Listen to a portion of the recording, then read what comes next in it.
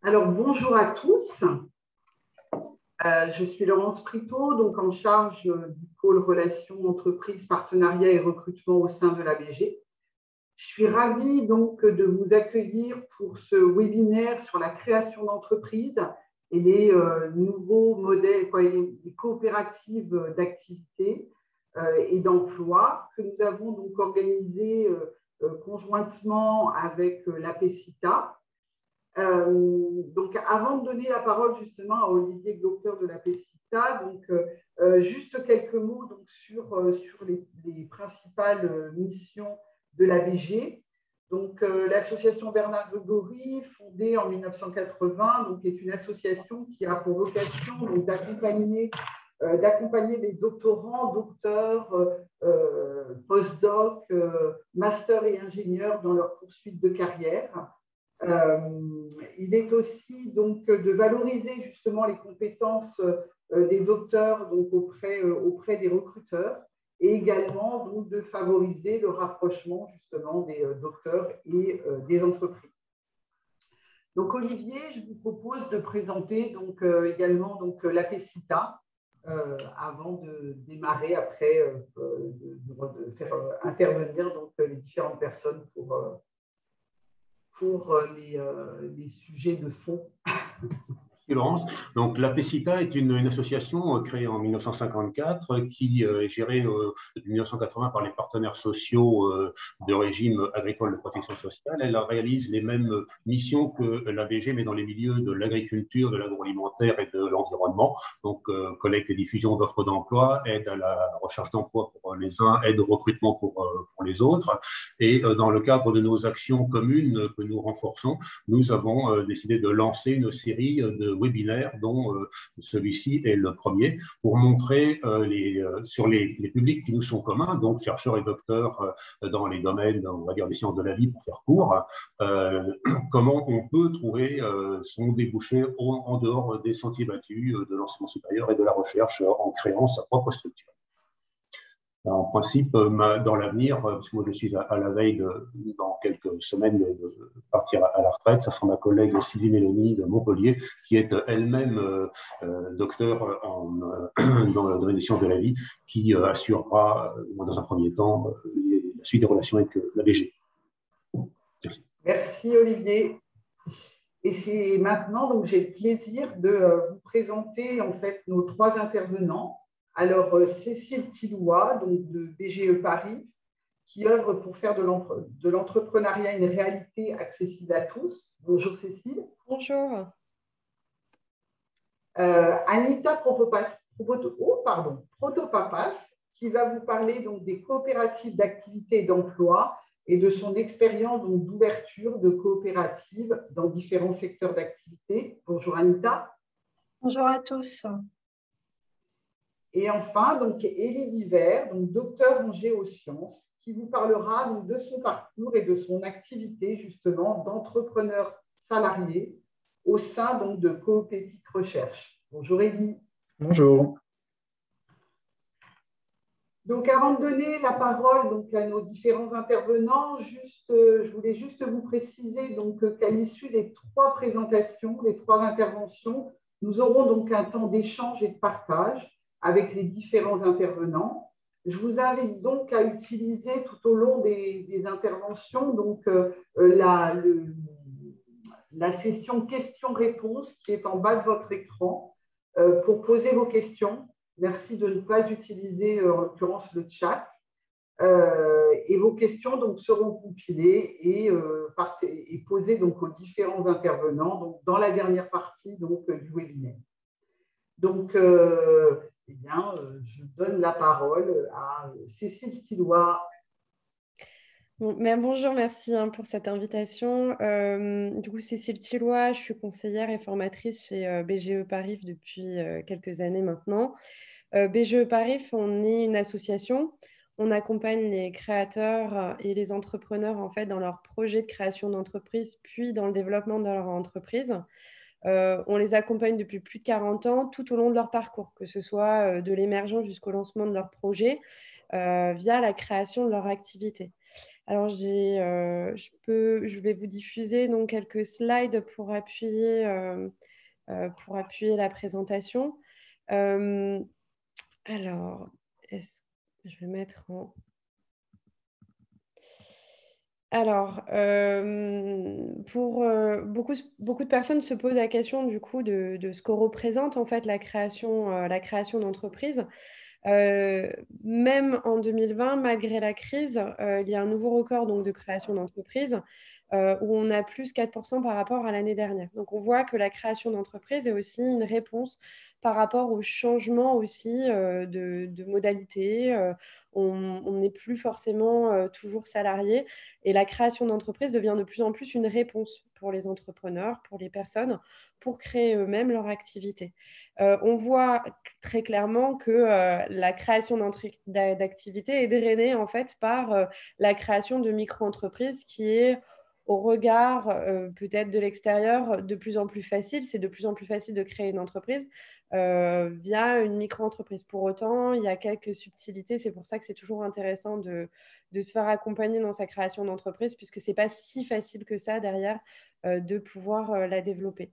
On voit qu'il y a un essor voilà, dans, certains secteurs d'activité. Les chiffres viennent de l'INSEE, donc c'est voilà, le transport, le commerce et l'immobilier est, toujours est toujours en croissance. Euh, ce qu'on voit surtout, c'est que le profil des créateurs est relativement jeune, puisqu'on euh, on, a 36 ans en moyenne, et euh, on voit qu'il est de plus en plus jeune. C'est-à-dire que les jeunes on, sont de plus en plus intéressés par la création d'entreprises. il y a moins ce blocage psychologique qu'on avait avant, où il fallait avoir cette expérience pour pouvoir créer son entreprise. Les jeunes créent, et ça, c'est vraiment une nouvelle tendance. Euh, on voit aussi que les femmes euh, sont de plus en plus présentes dans la création d'entreprises. Il y a aussi de plus en plus d'accompagnement de, vers les femmes, d'aide pour qu'elles créent leur entreprise. Alors, on voit qu'elles sont en majorité des micro-entrepreneurs, mais en tout cas, euh, ça nous fait plaisir qu'on puisse voir autant de femmes créer leur entreprise. Alors, qu'est-ce que c'est créer son entreprise? Il y en a qui, disent bah, il me faut une bonne idée. Bah oui, il faut une idée, mais pas que. C'est-à-dire, c'est pas parce qu'on a une bonne idée qu'on va, euh, va arriver à créer son entreprise. Il y a des personnes aussi qui pensent qu'il faut juste euh, bah, créer son entreprise, ouvrir euh, soit une micro-entreprise, soit une entreprise pour pouvoir créer son entreprise. Bah, pas seulement. la création d'entreprise, en fait, c'est avant tout l'entrepreneur, qui il est, ses compétences est-ce qu'il va être capable d'amener une idée vers un projet de création d'entreprise? Quel va être ce parcours vers lequel il va passer les, euh, obstacles qui va lui permettre en fait de, partir d'une idée vers un projet viable? C'est tout ce qu'on essaye de faire, euh, nous, quand on les accompagne en fait dans leur projet de création d'entreprise, c'est qu'on on part d'envisager l'entrepreneuriat comme une possibilité, euh, pour développer leur activité jusqu'au test de l'activité. Alors c'est là où c'est intéressant, c'est qu'on va pouvoir parler en fait euh, des couveuses notamment ou des coopératives d'activité ici euh, dans ce webinaire, qui est une solution alternative pour pouvoir créer son activité. Ou on va pouvoir aussi rencontrer des personnes qui vont vraiment créer leur structure, comme on en a parlé, soit des entreprises individuelles, soit des sociétés, pour créer l'activité. Euh, souvent, on, pose la question très rapidement du choix du statut juridique.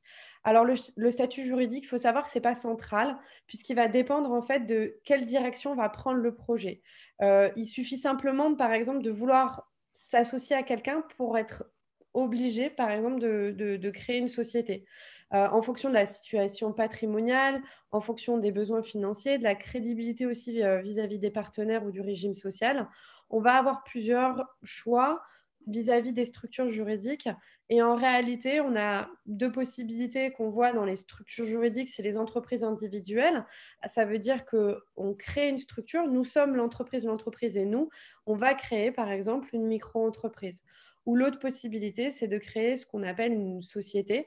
On n'a pas besoin de s'associer pour avoir une société, on peut être seul, on peut créer par exemple une EURL ou une SASU. Ce, qui va être, qui, ce, qui, va être une des possibilités. très clairement, les différences qu'on peut avoir entre une URL ou une SASU ou une SARL et une SAS, ça va être le régime fiscal de l'entrepreneur. Et tous ces éléments-là, il est important de le voir à la fin de la création d'entreprise. Et c'est des questions qu'on se pose vraiment à la, voilà, quand, on, quand on est prêt à se lancer.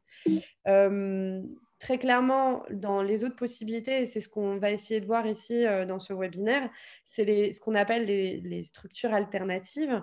Euh, on a euh, les systèmes de couveuses qu'on a aussi chez BGE Paris, où la possibilité, en fait, c'est de rentrer pendant six mois dans une structure euh, ce qui s'appelle une couveuse, où on prête un numéro SIRET en fait aux entrepreneurs, ce qui leur permet de, tester une activité pendant six mois, tout en restant accompagnés et en ayant des formations.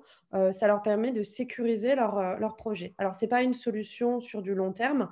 C'est pour ça que l'autre possibilité par la suite, c'est de continuer aussi dans des coopératives d'activité. je vais laisser du coup les autres intervenants parler par rapport à ça, ce qui me permet de faire une bonne, euh, une bonne introduction par rapport aux autres intervenants. Merci Cécile.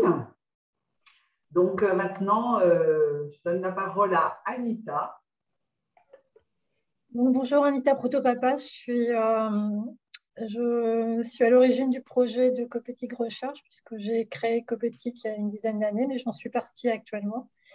Euh, là, je travaille pour d'autres coopératives d'activité qui est Alteractive, dans lequel on poursuit euh, le projet, et euh, Petra Patrimonia dans le sud, Alteractive étant à Paris. Donc, c'était une bonne introduction, en tout cas pour moi, à l'intervention de Cécile, parce que effectivement, D'abord, le statut des coopératives est assez mal connu, c'est-à-dire que quand les gens veulent créer une entreprise, ils pensent assez rarement aux coopératives. Alors, les coopératives, c'est un, un statut qui, ça semble à un autre statut existant, c'est-à-dire que les coopératives sont toujours des, coopératives en statut SARL, SA ou SAS. Donc, euh, on va dire, ça relève à la fois, quand vous créez une coopérative, vous relevez à la fois du droit euh, commercial et du droit coopératif. Alors, c'est quoi la particularité des coopératives? Les coopératives appartiennent euh, aux gens qui les utilisent ou à leurs salariés. La SCOP, la Société coopérative ouvrière de production, est une forme de euh, coopérative qui fait que euh, l'outil de production appartient aux salariés. C'est-à-dire que la majorité des associés sont salariés et les salariés sont amenés à devenir associés. Donc, c'est le partage d'un outil de travail. Euh, que j'ai co-créé euh, et une, une, scope. Donc, ça veut dire qu'elles euh, relèvent toutes du principe une personne égale une voix. Vous votez en fonction de ce que vous êtes et pas du nombre de parts sociales que vous avez, ce qui est différent du vote dans les SRL ou dans les SA, par exemple. Donc, c'est le principe une personne, une voix qui est un principe fondamental de toutes les coopératives. Et après, il y a un certain nombre de choses qui peuvent être intéressantes, comme le partage des résultats, quand il y a des résultats positifs, évidemment, euh, via des plans d'intéressement et de participation. Et euh, ce qu'on appelle aussi la, part travail, qui est euh, un retour sur investissement pour les salariés quand l'entreprise fait du profit. Je vous ai parlé des, des scopes, mais il y a aussi les SIC, les sociétés coopératives d'intérêt collectif, hein, qui est en fait quelque chose d'intermédiaire entre l'association et la, coopérative. C'est-à-dire que ça permet d'associer dans un projet toutes les parties prenantes, y compris notamment les usagers. Vous avez euh, par exemple des sociétés d'électricité qui sont sous forme de SIC. Donc ça permet d'associer les Enercop est une SIC. Euh, si je ne dis pas de bêtises, je pense que c'est, il me semble que c'est vraiment c'est une SIC. Ça permet d'associer euh, l'ensemble des usagers à la prise de décision. Donc, il y a un système de collège. Chaque collège a un certain nombre de droits de vote. Et euh, donc, ça permet d'associer l'ensemble des parties prenantes. Donc, ce qui caractérise quand même l'ensemble des coopératives, c'est une gouvernance démocratique qui est garantie par le principe une personne égale une voix et aussi par des modes de gouvernance qui sont très démocratiques. Parce que, par exemple, dans une SARL, euh, SCOP ou SIC, euh, ben, le gérant il est, il est élu par euh, l'Assemblée générale et il peut être destitué de la même façon par l'Assemblée générale, peu importe le nombre de parts sociales qu'il a. Donc ça, c'est une, ça a aussi l'immense intérêt, les scopes, de pouvoir continuer, enfin de pouvoir créer une entreprise en, étant, en ayant le double statut d'associé et de salarié. C'est-à-dire que le statut de salariat, c'est quand même central dans un certain nombre de coopératives, notamment les scopes et les coopératives d'activité. Je vais peut-être venir aux coopératives d'activité parce que c'est euh, un peu ça qui nous intéresse aujourd'hui. Alors, les coopératives d'activité, euh, Cécile a parlé des, euh, couveuses entreprises. C'est un peu le même système. Ça permet de tester un produit ou un service. Mais là, la différence des couveuses, c'est qu'on n'a pas de durée, il n'y a pas de durée dans le temps. C'est-à-dire que vous pouvez rester dans une coopérative d'activité jusqu'à votre retraite si vous voulez. Ça permet à la fois de tester, mais ça permet aussi de continuer durablement. Alors ça s'adresse plutôt à des gens qui ne se sentent pas euh, se sentent pas prêts à passer directement à la création d'entreprise, c'est-à-dire qui ont envie de se consacrer à leur euh, cœur de métier et, être débarrassés de tout ce qui est gestion, que ce soit la comptabilité, les relations avec les administrations, euh, tout en conservant leur, statut. Alors, comment ça en conservant leur statut? C'est-à-dire que contrat, le premier contrat qui est conclu entre la coopérative et la personne qui rentre dans cette coopérative et qui a un projet, c'est le contrat euh, d'appui au projet d'entreprise, le CAP, qui est aussi utilisé par les couveuses et qui permet dans un premier temps de développer son projet en gardant son statut de demandeur d'emploi rémunéré. Donc ça permet euh, de laisser un peu de temps au temps pour pouvoir vraiment construire un projet d'entreprise et le tester. Et après, une fois que vous passez en phase euh, de consolidation du projet, en tout cas de développement du projet, l'intérêt de la coopérative d'activité, c'est de se salarier. C'est-à-dire que vous êtes salarié grâce à votre propre chiffre d'affaires, en conservant évidemment, dans ces cas-là, les avantages du salariat. Il faut savoir qu'il y a quand même une grande différence et souvent ça peut euh, bloquer certaines personnes pour aller vers la création. la création d'entreprise, c'est euh, ne plus être salarié. Donc, c'est un statut qui convient particulièrement aux gens qui veulent tester, qui ne sentent pas complètement assurés dans un projet de création euh, en dur, c'est-à-dire en immatriculation, qui veulent avoir une aide pour euh, s'occuper de leur comptabilité, euh, s'occuper des, des, relations avec les administrations et qui veulent rester salariés. Donc ça, c'est les avantages, on va dire, de toutes les coopératives d'activité. Après, les projets de recherche au sein de coopératives, euh, l'objectif est un peu plus ambitieux, c'est de pouvoir euh, réellement euh, mettre en lien et, et, faire du réseau entre différents profils dans la coopérative pour essayer de voir comment ils peuvent aussi développer ensemble mieux leurs activités que chacun dans leur coin. Donc, c'est de jouer sur les interactions et sur l'articulation des compétences. On, essaie de travailler la mutualisation des compétences et pas simplement la mutualisation des fonctions support et des moyens.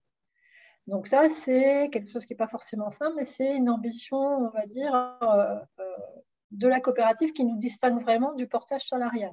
Ça, c'est important de le souligner parce que les gens connaissent beaucoup le portage salarial. Le mécanisme de transformation du chiffre d'affaires en salaire et cotisation sociale est identique à celui du portage, Simplement, euh, le projet est très différent. D'abord parce que vous ne devenez jamais salarié, vous ne jamais euh, associé d'une société de portage, alors que dans une coopérative d'activité, vous êtes amené à devenir associé dès que vous êtes salarié. Hein, dans les scopes, c'est comme ça. Il y a même une obligation de sociétariat euh, qui a été apportée par une loi qui a cadré le statut des coopératives d'activité. Donc ça, c'est quelque chose qui est qui est quand même très particulier aux coopératives. Alors pourquoi la recherche? Parce que je pense qu'il y a différentes façons d'entreprendre aussi. Euh, et que peut-être euh, les gens pensent toujours à créer une entreprise quand il y a un nouveau produit, un nouveau service. Mais parfois, ce qui peut vous faire vivre, c'est de déployer vos compétences et, euh, de vous en servir pour développer une activité. C'est-à-dire que si vous avez une expertise particulière, ça permet éventuellement euh, de, travailler pour voir en quoi votre expertise elle peut être adaptée euh, et, être proposée en service à des PME, TPE ou des grands groupes. En quoi ça peut être intéressant pour vous de vendre cette, euh, expertise Et ce n'est pas forcément la création d'entreprise avec un. Tout le monde ne se réveille pas en, inventant Google. Quoi. Donc, nous, c'est beaucoup sur les compétences, beaucoup les compétences des gens qui font leur activité. Donc, ça, je pense que c'est important de le souligner parce que c'est aussi une façon de peut-être de faire un pas de côté, de se dire, ben voilà, ce que j'ai développé pendant X années parce que j'étais salarié euh, dans tel organisme de recherche, qu'est-ce que je sais faire, quelle technique je sais employer, euh, en quoi ça pourrait être utile, à qui ça pourrait être utile, comment je peux transformer ça en, en prestation et, à qui je peux les vendre. Donc ça, c'est tout un, je pense, c'est toute une démarche qui n'est pas forcément très naturelle euh, au départ, mais qui peut vraiment être quelque chose qui est euh, très libérateur et qui peut permettre une nouvelle vie professionnelle sans abandonner euh, ses compétences de départ. Parce que bon, ce que nous, on a remarqué, c'est qu'il y a beaucoup de chercheurs qui sont obligés de changer de métier pour pouvoir travailler. C'est-à-dire qu'à partir d'un certain moment, quand ils se retrouvent demandeurs d'emploi, il y a des reconversions plus ou moins forcées qui se font parce que les gens ont besoin de travailler. Donc, euh, nous, l'objectif dans les coopératives d'activité, c'est de dire comment on peut faire pour que vous puissiez exercer votre métier de chercheur d'une façon peut-être différente, mais pour que vous continuez à exercer ce métier-là et que vous ne soyez pas obligé de l'abandonner. Je pense que ça, c'est vraiment quelque chose euh, d'important et c'est une solution certes alternative, mais qui pourrait être, euh, je pense, beaucoup plus développée. Merci beaucoup euh, Anita pour euh, ces informations et pour effectivement euh, ces, perspectives qui peuvent être élargies par rapport aux, candidats dans, le cadre de la poursuite de carrière. Donc maintenant, on, va entendre le témoignage d'Elie qui, lui, justement, va nous parler de son parcours, de comment il a il en est arrivé d'ailleurs euh, à la logique de, euh, coopérative d'activité. Donc, ben, c'est à vous. Bah, bonjour à tous. Hein. donc, bah, je, suis chercheur en, géosciences environnement. Je travaille sur des problématiques de contamination des milieux, puis notamment des écosystèmes. Puis je vais vous expliquer un petit peu le parcours, comment j'en suis arrivé là, pour bah, que chacun puisse un peu se, se positionner également par rapport à ça. Donc, euh, moi, j'ai fait une thèse euh, à Tours sur euh, la pollution de la Loire. Et au cours de cette thèse, et puis également avec les, expériences que, j'avais eues avant cela, ben, j'avais constaté qu'il y, avait, des besoins, notamment en ce qui, était un rapprochement entre les, interrogations au niveau du terrain et puis les interrogations de la recherche non pas que ben, la recherche qu'on faisait euh, dans les laboratoires était complètement déconnectée de ces besoins opérationnels, mais plus qu'il y avait euh, un, tout un travail de transfert à réaliser que j'avais du mal à faire euh, dans, le cadre de, mes recherches, et puis que je voyais que mes collègues également n'avaient pas le temps pour le faire. Et donc, c'était l'idée de départ de, de, de, pouvoir proposer ça. Donc, j'ai gardé contact avec mes collègues. Et euh, je me suis rapproché euh, ben, des, financeurs, en fait, euh, des, études qui peuvent se faire sur, sur les cours d'eau, sur les écosystèmes, qui sont des gestionnaires de milieux, type agence de l'eau, CEN, tout ça, pour ceux qui, connaissent. Et ben, en discutant avec eux, en discutant avec mes collègues, j'ai pu également formaliser ce qu'on peut appeler une offre, hein, une offre commerciale, qui est une manière d'expliquer comment euh, notre expertise peut être euh, peut, euh, ben, se concrétiser par, des projets en commun. Donc, à partir de ça, ce que, la manière dont, je travaille maintenant, c'est assez similaire à, ce, que, je faisais dans, les labos de recherche, c'est-à-dire de monter des projets en coopération, là, pour le coup, avec ces financeurs. Et euh, pour chaque projet, euh, j'intègre également euh, différents collaborateurs, collaborateurs et notamment ben, des labos de recherche type CNRS.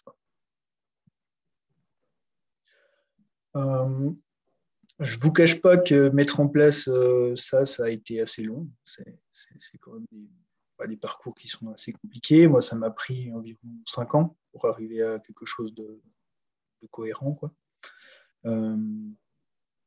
j'ai eu une première expérience qui s'est soldée par un échec, mais bon, ce n'était pas un échec total, hein, parce que ça m'a permis justement d'avancer sur, sur ça. Et puis, bah, à partir de, 2017, j'ai intégré Copétique Recherche pour pouvoir ben, développer peut-être plus l'idée, c'était d'intégrer une coopérative qui était une, coopérative spécialisée dans le domaine euh, de, la recherche pour aller peut-être un petit peu plus loin. Parce que la, première, euh, première expérience que j'avais eue, c'était dans une, également une coopérative d'activité et d'emploi, mais qui était beaucoup plus généraliste. Euh, voilà, puis depuis, bah, ça va bien. pourquoi je me suis orienté vers les coopératives d'activité et d'emploi? Eh ben, pour, à la base, l'idée de la, coopération, enfin des, coopératives, c'était quelque chose qui était, euh, on va dire, plus en, plus en phase avec euh, mon idée de l'entrepreneuriat. Et puis, comme le disait euh, Anita, ces, coopératives d'activité d'emploi, c'est des milieux qui sont très, très intéressantes pour tester son activité et également pour y rester. Alors, voilà, ça fait un petit moment que je suis dedans maintenant, et puis j'ai repéré différentes différents intérêts euh, à travailler là-dedans. Le, premier, bah, c'est exactement ce que, Anita disait, c'est euh, de se, ben, de se libérer un petit peu de toute cette euh, gestion d'entreprise. Alors c'est vrai que quand on a une activité de chercheur, on est déjà pris dans beaucoup de choses. Hein. On a nos travaux à faire, on a nos, ben, nos recherches de nouveaux projets à faire, et puis on a également toute une activité de, rédaction, de production de documents scientifiques laisse quand même assez peu de temps pour pouvoir en plus se rajouter tout un, tout un de gestion d'entreprise. Donc euh, le fait de, de la mutualiser dans le cadre d'une coopérative, c'est quelque chose de vraiment très intéressant. Également, euh, la coopérative, ça permet de bénéficier de pas mal d'avantages sociaux hein, qui sont associés, à ces, modèles-là.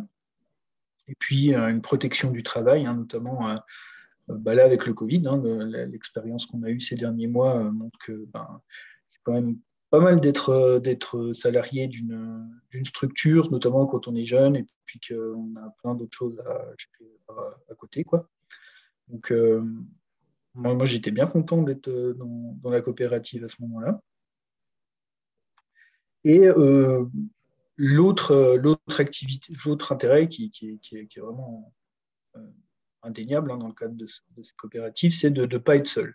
De ne pas être seul, notamment pour se former euh, à, toute cette activité euh, euh, d'entreprise, mais également d'avoir des collègues avec qui échanger, avec qui mutualiser des, interrogations, potentiellement même enfin, du matériel, des choses comme ça. Donc voilà un petit peu mon ressenti par rapport à ça. Et euh, bah, pour finir, bah, je rebondis un petit peu sur ce que, Anita disait tout à l'heure. Donc, c'est plutôt un challenge hein, d'avoir une coopérative qui est euh, euh, centralisée sur, sur, les métiers de la recherche. mais à mon avis, c'est quelque chose qui quand même a beaucoup d'intérêt à être développé parce que, parce que ça ça permet quand même l'emploi de, de, garder son travail, de garder son cœur de métier. Et c'est vrai que, ça, c'est assez difficile, euh, euh, notamment quand on a des, questions de recherche qui nous sont propres hein, à faire valoir dans le cadre d'un recrutement, par exemple. Là, on, est quand même maître de son, de son, de son expertise et on peut la proposer telle qu'elle. Quoi. Et Élie, vous m'aviez aussi parlé du, euh, du fait que bah, dans, vos, dans vos travaux aujourd'hui, finalement, vous faisiez même intervenir euh, euh, des, des, quoi, des services académiques, quoi, parce que y avait, vous étiez encore vraiment encore dans une dynamique de recherche, alors peut-être pas totalement fondamentale, mais en tout cas qui, qui qui vous permettait d'être en interaction forte avec, avec l'université. Vous pouvez nous en dire quelques mots?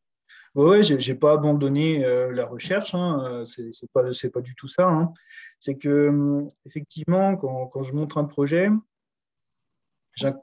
j'essaye, plus souvent c'est comme ça que ça, se passe, eh ben de, collaborer avec un, labo de recherche institutionnel. Hein, pense les labos du CNRS, les labos avec lesquels je travaille. Et ce qui permet ben, ben justement d'aller un petit peu plus loin que la. Enfin, pas d'aller un petit peu plus loin, il ne faut pas le dire comme ça, je pense. De, vraiment. Euh, euh, comment dire euh, Faire un lien entre ce qui peut être une question scientifique et un besoin opérationnel sur le terrain. C'est-à-dire que le gestionnaire, lui, il a ses questions. Il a besoin qu'on lui réponde, qu'on réponde à ses questions en termes qu'il va comprendre.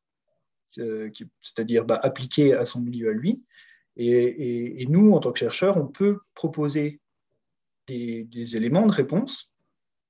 Et également, en réfléchissant à ça, ça nous fait développer des questions scientifiques sur lesquelles on peut aller plus loin par, la suite.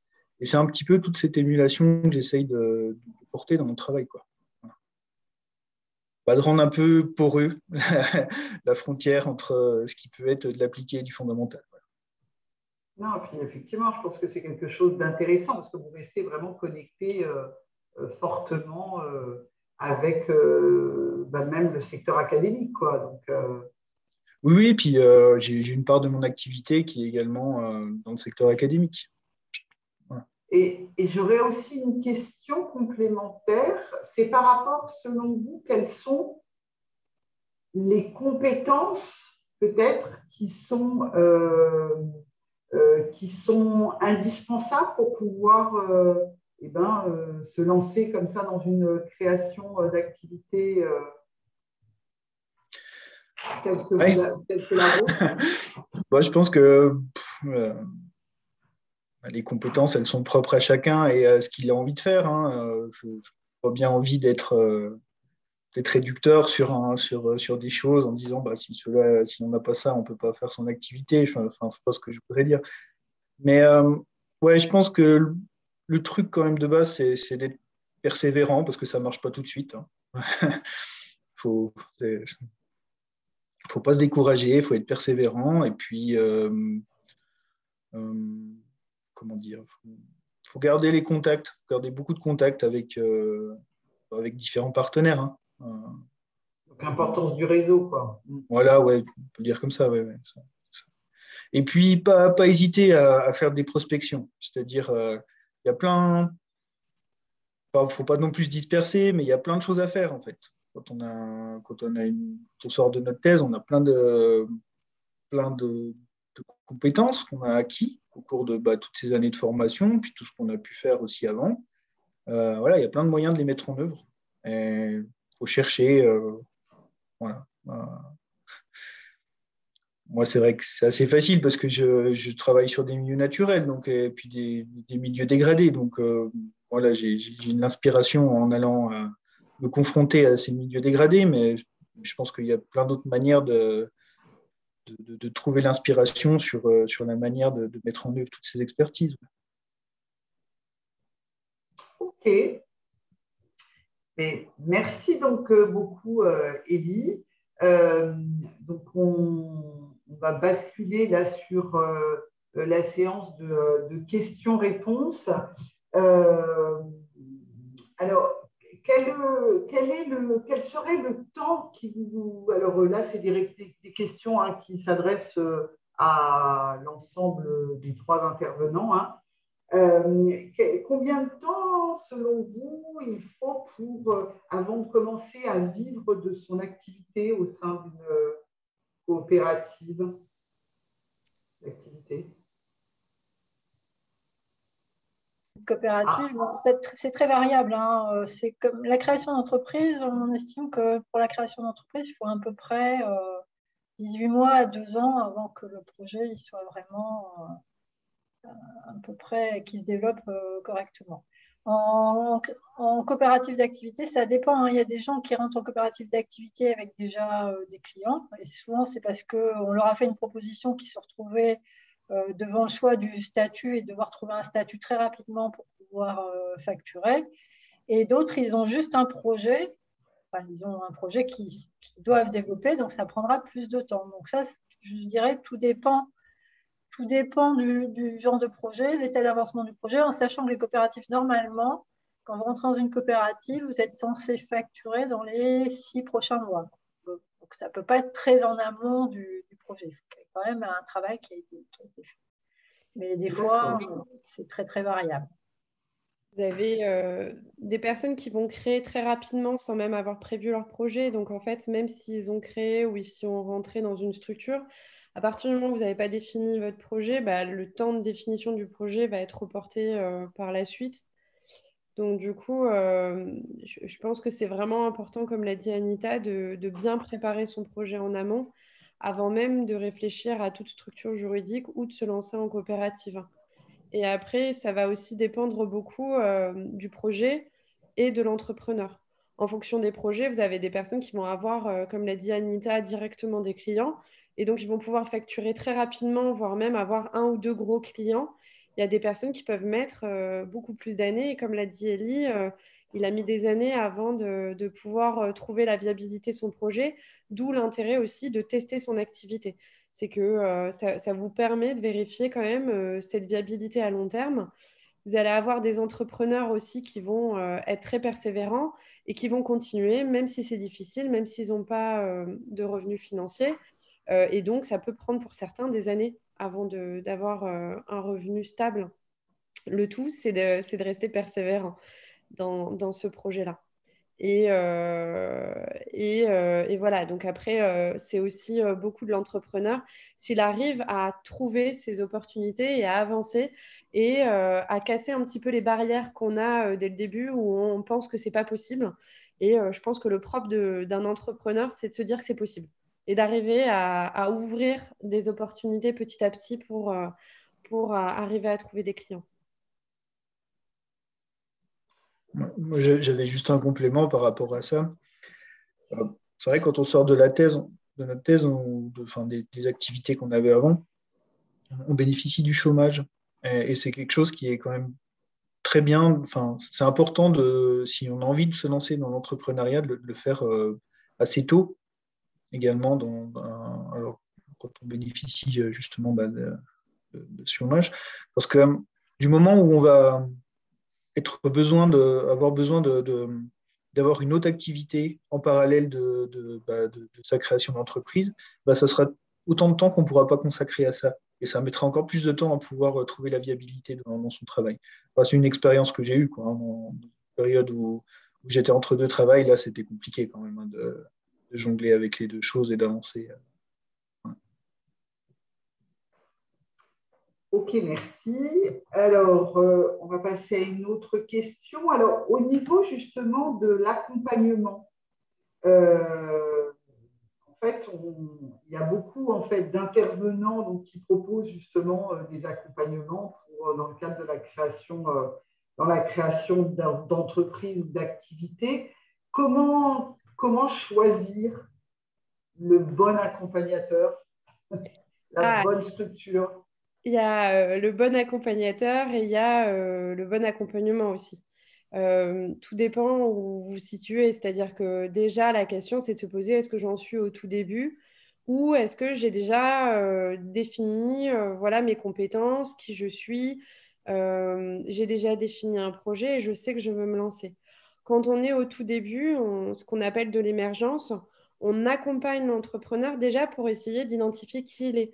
D'où euh, les questions aussi de bilan de compétences, euh, puisque en fait, c'est l'entrepreneur qui va avoir cette capacité de prendre une idée et de l'amener vers un projet. Euh, généralement, même si vous voyez Google, quand ils achètent des projets, ils n'achètent pas vraiment en fait l'idée, ils achètent des entrepreneurs en fait, ils rachètent des, des mmh. personnes qui sont capables d'avoir cette capacité de transformer un projet. Donc nous, ce qu'on essaye de définir, c'est ce qu'on appelle les fondations.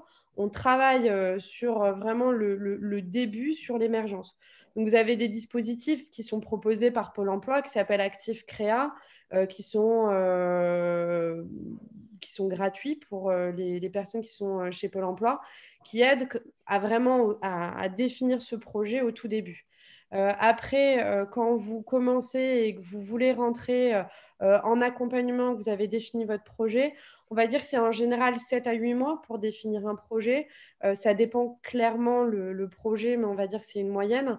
Et là, vous avez plutôt un dispositif régional pour les personnes qui habitent en Ile-de-France qui s'appelle Entrepreneur Hashtag Leader, qui est financé par la région.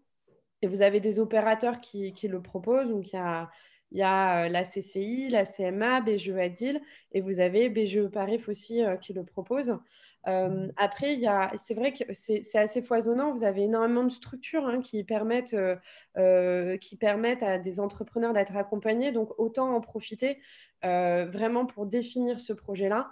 vous avez la plateforme Pouce qui est proposée par Initiative, qui vous propose vraiment cette identification de l'ensemble des acteurs euh, donc, euh, si vous avez envie, ça vous permet vraiment voilà, de, les identifier. Et euh, au fur et à mesure, l'idée, c'est de mettre un premier pas. Et ensuite, ça va se dérouler, en fait. Et le but, c'est d'accompagner l'entrepreneur dans son, dans son parcours jusqu'à bah, une création d'entreprise ou bah, une couveuse et une scope par la suite, éventuellement. Merci. Oui, Anita je voulais répondre à une question là, qui est arrivée euh, pour laquelle je n'arrive pas à répondre en, message. Est-ce qu'il existe des coopératives d'activité qui proposent la location de labo de biologie? Alors, il faut savoir. Est-ce qu'il existe des coopératives d'activité qui proposent la location de labos de biologie? Ah, d'accord. Il faut savoir que euh, dans le cadre du projet recherche, j'étais amenée à, à travailler avec l'association La Paillasse à Paris qui en fait fait du coworking de paillasse euh, dans le centre de Paris. Ils ont des superbes locaux. Et effectivement, c'était des choses qui avaient été euh, négociées avec eux, en sachant que ça, c'est toujours possible. Hein. Euh, de la même façon qu'un certain nombre de plateformes aussi peuvent être mobilisées dans le cadre de prestations, ce qui permet de faire aussi de, comprendre dans le coût de la prestation le prix de location de la plateforme. Donc après, en termes de mutualisation, tout est possible. Ça dépend juste des besoins euh, des uns et des autres et euh, du nombre de personnes qui est intéressé aussi, effectivement. Mais oui, ça, ça avait été envisagé, la location de, de labo de biologie. Parce qu'évidemment, quand vous rentrez dans une coopérative d'activité et que vous êtes chercheur, vous n'avez pas toutes les infrastructures, ça nécessite donc euh, des contacts avec euh, des labos et euh, des partenariats. Ok, merci. J'ai une autre question aussi. Donc, est-ce que les coopératives d'activité proposent un service juridique, notamment sur la propriété intellectuelle et est-ce qu'il y a des spécialistes de l'open source? Alors l'open source plus parce qu'on peut trouver dans le cadre des coopératives des gens qui sont spécialisés là-dessus. Sur les, experts en tant que tels, euh, nous, effectivement, on ne peut pas avoir tous les experts dans les coopératives, c'est absolument pas possible. On peut proposer dans ces cas-là de, consulter un avocat euh, spécialisé et on mutualise aussi les noms des contacts. Oui, c'est ça en fait, parce que quand vous parliez de mutualisation, il peut y avoir des gens qui ont, euh, par exemple, euh, euh, qui vont avoir une, formation en propriété intellectuelle et qu'avec qui les gens vont pouvoir collaborer aussi. C'est des choses qui arrivent, ça? Bah, ça arrive plus, plus rare, ça arrive assez rarement en fait. Dans, ces cas-là, je pense que quand vous avez besoin, et la, propriété industrielle et intellectuelle, c'est quand même très particulier, il vaut mieux, euh, au moment où ça se pose, il vaut vraiment mieux, euh, il vaut mieux euh, consulter un expert. Et dans ces cas-là, ça fait partie de la construction du projet ou de l'offre. D'accord. Ça, c'est vraiment une étape importante. Hein, et ça a forcément un coût. Donc, on va pas, on s'amuse pas tellement à bricoler là-dessus pour, euh, pour, le, coup. Vraiment, euh, là, on renvoie vraiment sur ça, on renvoie vraiment sur des experts. Autant le, suivi, l'accompagnement, ça peut être fait dans un certain nombre de choses, autant là-dessus, euh, je pense qu'il faut vraiment renvoyer sur des experts. Les enjeux sont trop importants. OK. Elie, aussi une question là, peut-être plus pour vous. Est-ce que, quoi, quels sont les quelle valeur ajoutée avez-vous obtenue par le biais justement de, en, ayant rejoint une coopérative? Qu'est-ce que ça vous a apporté? Par rapport à, à votre activité, au lancement de votre activité et à la maturation de votre projet? Oui, ben, je pense qu'on l'a l'a pas dit, mais quand on intègre une coopérative euh, d'activité, euh, on, bénéficie également d'une formation, ce qui, est, qui, est, pas mal parce que euh, une formation à la gestion d'entreprise et puis même à la création de projets, c'est pas forcément des choses qu'on a pu avoir dans le cadre de, de, notre formation en master. ça dépend vraiment des, des milieux, mais enfin moi j'avais pas eu ça. Ça c'est vraiment intéressant. Et euh, ce, qui, qui, est également euh, vraiment spécifique, enfin, la valeur ajoutée qu'on pourrait vraiment associer à, cette activité coopérative, c'est euh, le fait d'avoir beaucoup de choses que l'on peut mutualiser et pouvoir compter sur, sur tout un tas de bah, d'autres personnes en fait hein, qui, peuvent soutenir des, parties de, choses qu'on ne maîtrise pas. Hein. Je pense par exemple là il y a une partie de mon revenu qui, qui, qui est, du CIR, du crédit d'impôt recherche. Euh, tout seul, je n'aurais jamais pu euh, aller chercher ce CIR. Quoi. C'est pas possible. Et c'est vraiment quelque chose qui est vraiment intéressant parce que ça me permet, ben, quand euh, mes collègues qui sont dans les institutions ont besoin d'une ont besoin de, ils voudraient m'intégrer dans, un projet ou moi j'ai envie de m'intégrer à eux, je ne suis pas obligé forcément d'aller chercher des financements. Je, peux aller me rémunérer avec ces crédits d'impôt recherche. D'accord. Voilà. Bah, moyennant, enfin, faut pas que ce soit non plus, euh, c'est pas, c'est pas, enfin, faut pas aller trop au-delà de 30% quand même de son, de son temps de travail euh, là-dessus, parce que c'est ce qu'on récupère avec euh, le CIR. Mais, mais c'est une possibilité, quoi. C'est qui nous a offert et c'est vraiment bien, quoi. Et donc, toute la partie-là, euh, constitution administrative, elle est gérée par la coopérative? Alors, c'est la coopérative. C'est. Peut-être Anita, tu, sais peut-être mieux que nous. Moi, comment ça s'est vraiment passé, mais. Euh, c'est la coopérative qui gère ça, en fait. Et c'est. Euh, donc, ça, gère pour toutes les personnes qui travaillent dans, ce secteur-là, dans la recherche, qui relèvent du crédit impôt recherche. Et c'est donc après reversé directement sur les comptes entrepreneurs des, différentes personnes. En fait, c'est quand même un des rares cas où le crédit impôt recherche sert directement aux gens qui en font. Hein. Je le dis souvent, mais c'est quand même assez vrai là. Euh, là, par exemple, moi, ça a réussi. J'ai pu financer euh, la rédaction d'une publication, par exemple, là, ces derniers temps, avec ça, euh, intégrer un autre projet, qui n'a aucun débouché économique. On ne pourrait jamais le vendre, ce, projet. Mais pour le coup, bah, j'ai pu, pu, quand même faire ça. Ok, merci. Euh, une, autre, euh, une autre question. Donc, euh, dans le cadre des, coopératives de recherche, peuvent-elles peuvent permettre de faire un post-doc sur, sur, un sujet de chimie végétale pardon, dans le but de création d'une start-up? Moi, j'ai envie de dire. Vas-y, vas-y. Non, vas-y, vas-y. J'ai envie de, répondre à. Du coup, je ne me rappelle plus la personne qui a. j'ai pas, là, moi, je suis désolée, là, j'ai pas le prénom. Mais euh, Ouais, que s'il si, si, a la possibilité de faire un postdoc euh, et puis en même temps de, mettre en place son activité, bah, il faut qu'il fonce, hein, parce que je, je pense que c'est un des, un des piliers pour avoir une activité pérenne, c'est de pouvoir euh, jongler entre, une, entre euh, le travail qu'on va faire dans une institution et également bah, qui va prendre en, charge peut-être une partie de son salaire, 30%, 50%, 10% de son, travail et de son activité dans, une coopérative pour mettre en place, bah, voilà, par exemple, une start-up ou autre chose. Quoi. Mais en aucun cas, la, la fin, en aucun cas, peut-être pas dire comme ça, mais le postdoc, il pourrait, il pourrait être difficilement porté par la, coopérative.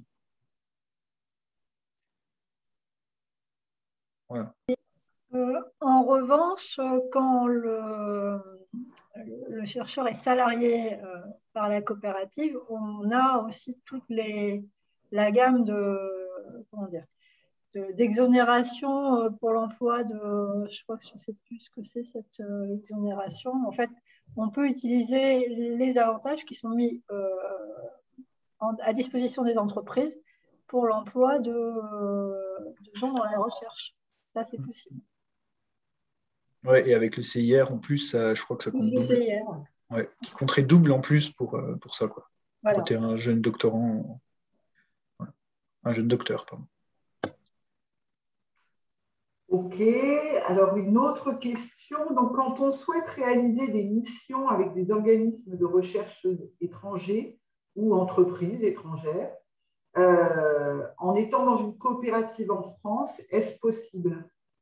Oui, bien sûr. En fait, euh, les clients des coopératives, que ce soit les clients des, secteurs recherche ou les autres, ils, sont, euh, ils peuvent être partout dans le monde. Donc là, il n'y a pas du tout de restriction à ça.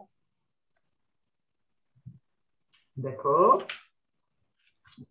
Euh... on en a parlé. Alors, une, autre question. Est-ce qu'on pourrait, euh, est-ce que vous pourriez, est-ce qu'on peut parler de journée type Est-ce qu'il y a, des journées types dans le cadre d'une activité euh, euh, en coopérative? Et Elie, est-ce qu'on peut, est-ce qu'on peut parler comme ça ou est-ce que c'est vraiment totalement non, qu'il n'y a pas de journée par an? Les journées types, elles sont surtout rythmées par, par tout par, tout ce qu'on a fait autour quoi, aussi de, son travail. Hein, non, je, non, non, il n'y a pas de journée type. Euh, si l'idée, c'est de savoir combien de temps on va passer euh, sur, sur, chaque partie, c'est ça peut-être plutôt la question. Oui, on peut comment, comment se. Comme ça, bien sûr. Oui, bah, on peut dire qu'à peu près, on, on va passer. Euh, enfin, moi, ce que je fais, c'est que je passe à peu près 80-75% de mon travail sur mes projets et puis le reste à la gestion et à la prospection. Voilà. D'accord. Ah, mais c'est important, effectivement. Oui, oui, il y a quand même une partie de gestion, mais euh, si, si, si, on la, enfin, s'il fallait que je la prenne tout en charge, bah, j'aurais plus le temps de faire tout le reste. Enfin, ou moins bien, en tout cas. Ok. Euh... Bon, bah, je pense que de toute façon, quoi, je ne sais pas s'il y a d'autres questions. Est-ce que je vérifie de mon côté aussi?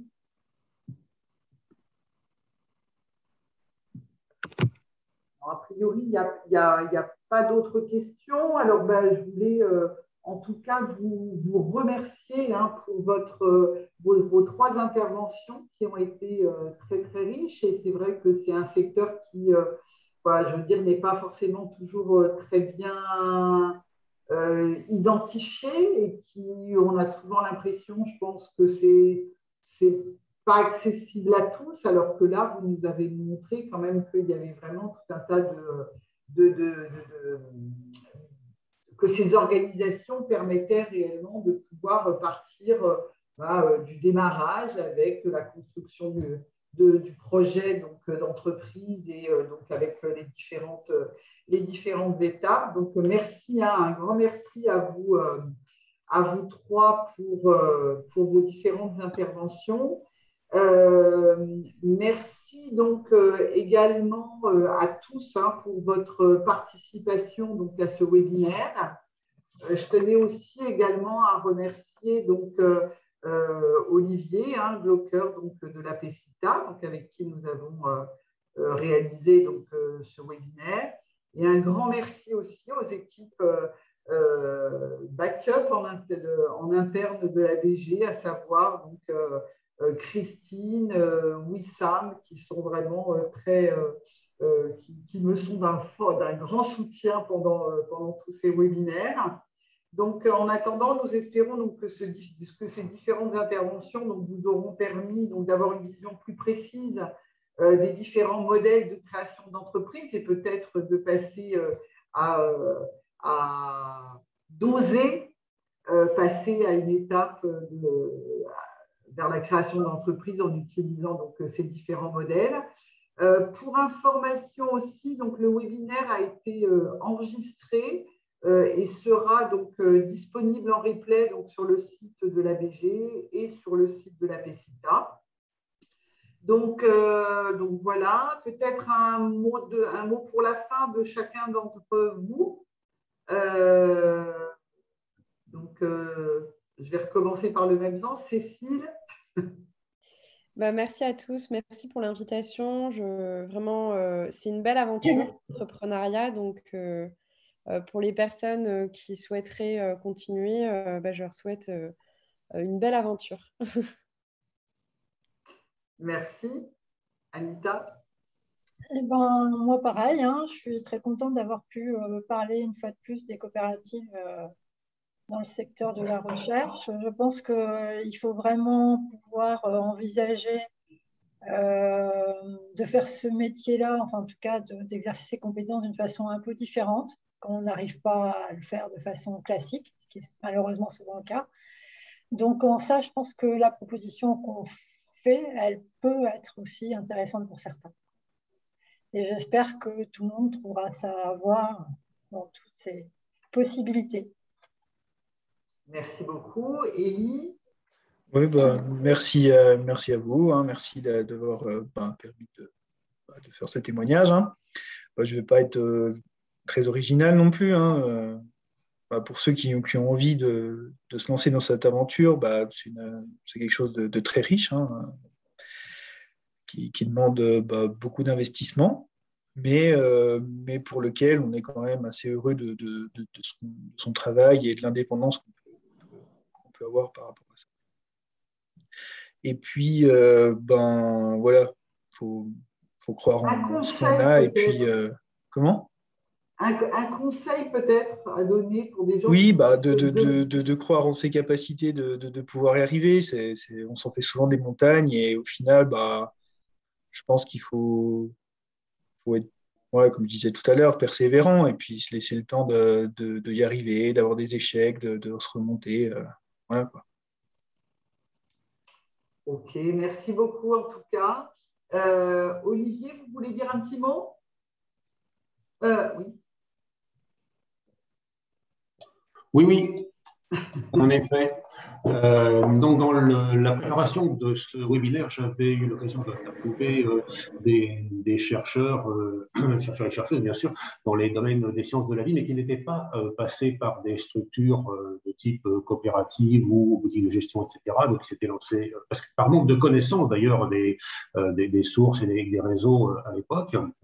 J'espère que dans, dans les autres webinaires, ils auront l'occasion s'exprimer. Ils avaient fait référence à, des, euh, des, choses qui ont été euh, exprimées euh, ici, notamment par, par Elie tout à l'heure. c'est que, bon, on dit que les compétences, c'est des, savoirs, des savoir-faire, des savoir-être. Les savoirs, c'est plutôt les connaissances des gens et des, bons points de, contact. Sinon, les connaissances elles-mêmes, Elie l'a bien dit, on l'a il y a des formations pour ça, savoir-faire, même chose. Et savoir-être, c'est vraiment ça, ce qui est différenciateur. Faire des, des attitudes, aller vers les autres, euh, se faire confiance, euh, être résilient, être patient, parce qu'effectivement, ça ne vient pas tout de suite, être curieux et puis euh, cultiver son réseau. Quoi. Pas aller vers les autres pour leur demander quelque chose ou seulement quand on a besoin d'eux, mais entretenir le contact de façon permanente. Ce sont des, choses assez similaires aux deux types de profils avec des spécificités sur d'autres également.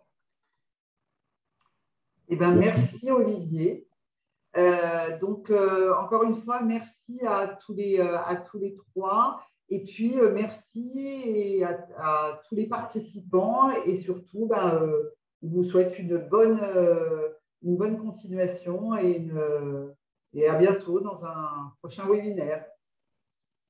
Merci. Merci. Au revoir. Au revoir. Merci. Au revoir.